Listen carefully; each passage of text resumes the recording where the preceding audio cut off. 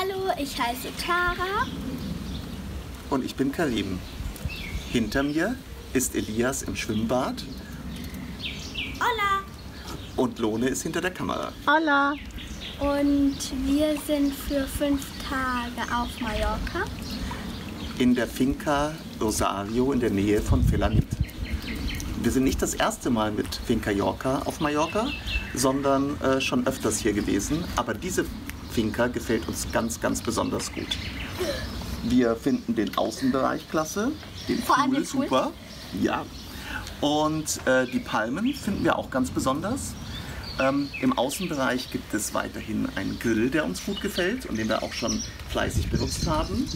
Und müssen sagen, dass die Finca insgesamt sehr großzügig ist, viel Platz für vier Personen bietet Und auch sehr sauber ist. und eine wunderbar ausgestattete Küche hat. Mit allem, was man braucht.